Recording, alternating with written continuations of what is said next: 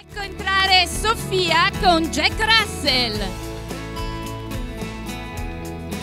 Nicole con Cocker Spaniel inglese. Matteo con un altro Cocker Spaniel inglese. Arianna con Cocker. Andrea con Bassotto. Francesca con Jack Russell. Linda con Dalmata bianco e nero. Alessio con Cocker americano. Camilla con bassotto tedesco a pelo duro.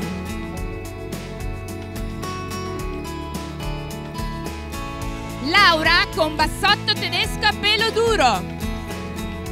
Giulia, Giulia con flat coated retriever.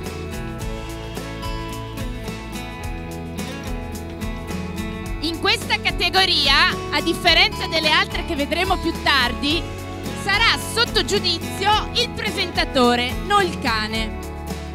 Infatti, come vedete, il giudice sta camminando attorno ai cani piazzati dai bambini e i bambini presentano il cane di conseguenza. Vedete ad esempio in questo momento che si sta spostando per mostrare meglio il cane al giudice.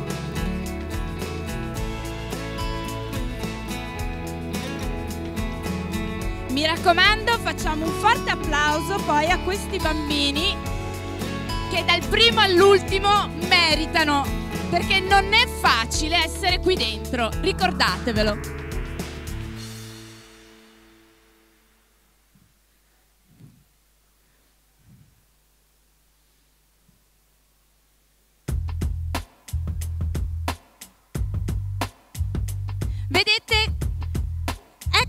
Cosa che deve imparare il presentatore di cani, è proprio quella di imparare anche il linguaggio del giudice.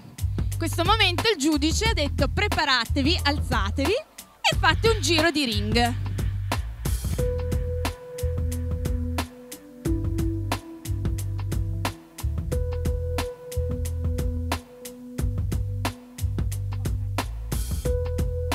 Adesso il giudice farà una prima scrematura.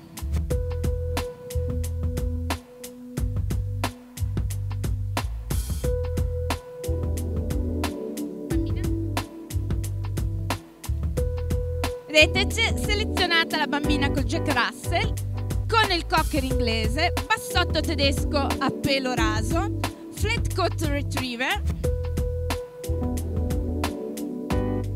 e altri due bassotti tedeschi a pelo duro. Facciamo un applauso anche per chi esce, non vuol dire eh, che è meno bravo, magari oggi è stato un po' più sfortunato.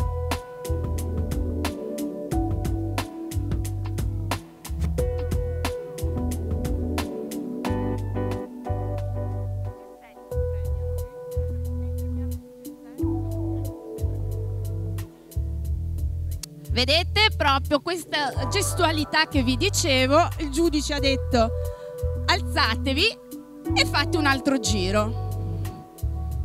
Un applauso veramente a questi bambini. Per presentare ci vuole affiatamento col proprio cane e questo pizzico di coraggio a mettersi in mostra.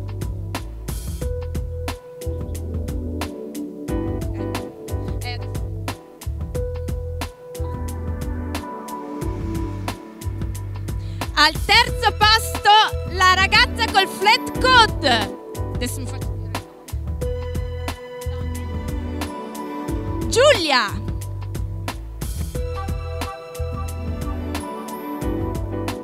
Secondo posto per il bambino col bassotto pelo liscio. Nome? Andrea. Jack Russell.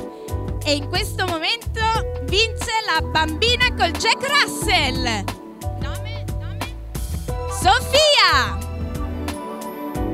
Un grazie a tutti. All'uscita troverete un piccolo omaggio, un regalino, un pensierino per voi, per la vostra bravura.